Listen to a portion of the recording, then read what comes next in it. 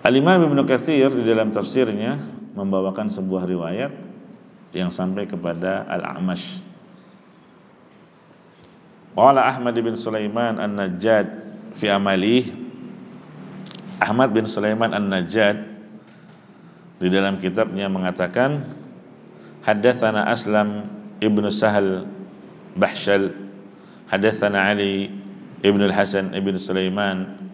Huwa Abu Sya'tha Al-Hadrami Syekh Muslim. Haddatsana Abu Muawiyah. Ya. Jadi Ahmad bin Sulaiman An-Najjaj ya dia berkata telah menceritakan kepada kami Al Hasan ibnu Aslam. Nah ini sanadnya ya. Ibn Sahal Bahashal. Ya Bahshal. Telah menceritakan kepada kami Ali bin Hasan bin Sulaiman alias Abu Sya'tha Al-Hadrami gurunya Imam Muslim. Hadatsana Abu Muawiyah telah menceritakan kepada kami Abu Muawiyah qala sami'tu al-A'mash. Abu Muawiyah berkata aku telah mendengar al-A'mash. Mengatakan bahwa tarawaha ilaina jinniyun. Pernah ada jin datang kepada kami faqultu lahu ma ahabbut ta'ami ilaikum makanan apakah yang paling kalian sukai? Fakal al aruz, ya nasi. Oh, ternyata sama juga kayak kita ya. makanan apakah yang kalian sukai? Ini pertanyaan kepada jin ya. Makanan apakah yang kalian sukai? Nasi. Ya, mungkin jin Indonesia ya. Enggak ya. Alamas kan jauh dari Indonesia. Maksudnya ya sama kan mereka juga makan nasi. Cuma jenisnya aja beda. Ya. Qala fa'atainahu bihi. Maka aku pun menyuguhkan nasi kepada mereka. Ya. Ara al-luqam turfa'u wala ara ahada. Dan aku melihat suapan nasi diangkat, tapi aku tidak melihat seorang pun. Jadi ada suapan nasi diangkat tapi nggak terlihat Siapa yang makannya? Nah, terus tanya lagi. Fikum min hadhil ahwa allati fina. Apakah ada di antara kalian aliran-aliran sesat seperti yang ada pada kami?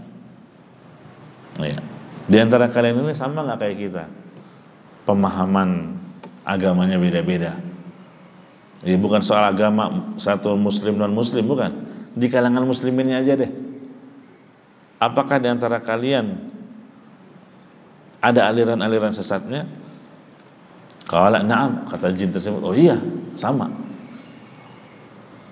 Qultu famar rafidah minkum? Kalau begitu, gimana menurut kalian aliran sesat yang bernama Rafidah? Qalu syarruna. Kata para jin tersebut, wah Rafidah itu yang paling jelek di antara kita. Ya. Ternyata sama ya. Di antara kelompok-kelompok yang ada dalam yang menisbatkan dirinya ke dalam Islam, yang paling buruknya adalah Syiah Rafidah. Dan ternyata jin-jin itu pun mengakui syarruna. Syiah Rafidah itu adalah yang paling buruk di antara kelompok-kelompok sesat yang ada. Iya. Gitu ya. Nah, jadi itu yang dimaksud kunna tara'iqa qidada. Kemudian jemaah rahimani wa rahimakumullah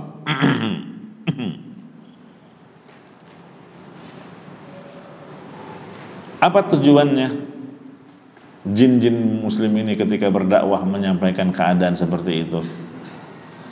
Tujuannya adalah uh, agar mereka berpikir dan merenungkan tentang apa yang menyebabkan mereka terpecah belah? Kenapa mereka berkelompok-kelompok? Ya. Berarti kalau kita berkelompok-kelompok kembalilah ke jalan yang benar sebagaimana firman Allah taala wa'tasimu bihablillah jami'an.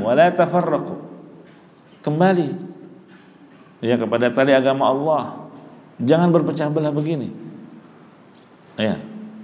Kembali ke jalan yang benar, kembali kepada tauhid, ya kembali kepada manhaj yang hak.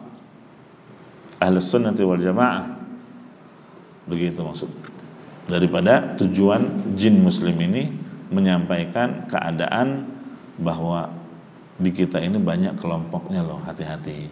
Jangan sampai pilih apa jangan sampai salah dalam mempelajari agama ini dari kelompok yang menyimpang. Ya jadi diingatkan. Ya هذا صراط مستقيم.